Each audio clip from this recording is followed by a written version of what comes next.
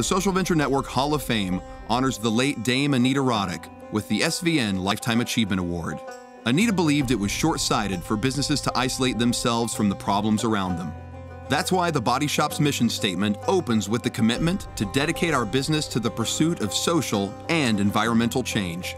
And if they want to bring the containers back, they get them refilled, and we don't charge again for refills. The company uses its stores and products to help communicate human rights and environmental issues. Community trade was our DNA, was the Body Shop's DNA. Take that away, and you take away our right to be. The Body Shop also enabled other good works, like Soapworks, the soap factory they set up in Easterhouse, Glasgow, an area which had one of the worst unemployment rates in Western Europe. Soapworks was able to employ more than 170 seasonal staff and give profits back to the community. The Big Issue, one of the most successful street sold newspapers in the world, and the National Missing Persons Helpline.